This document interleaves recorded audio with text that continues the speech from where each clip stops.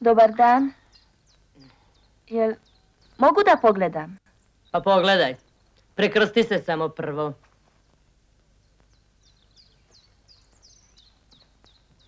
Jel teško umreti? Ne znam, dete moje, dok ne umrem. A i kad umrem, kako da ti kažem?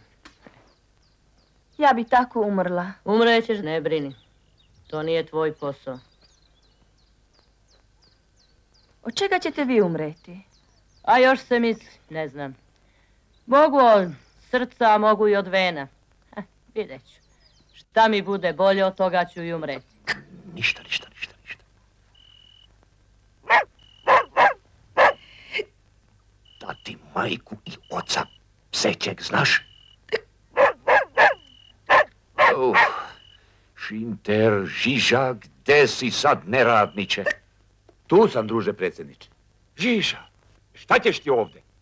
Pa zvali ste me, druže predsjedniče. Ćete. Daj naftaša. Brže, brže. Majko Nemamo vremena. moja. Gde naftaš? Stanite! A zašto vam treba naftaš?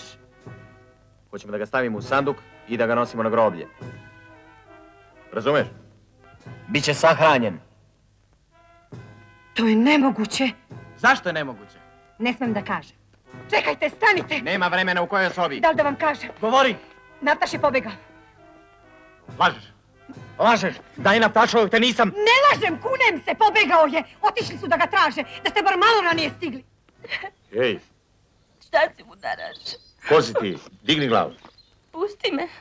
A ko si ti? Pogledaj, još nisi vidjela ovako. Krk. Pobegao sam iz bolnice. Nije to za mene. Ja sam mnogo zaguljen. Od bele kafe povraćam, a od lekova bljujem.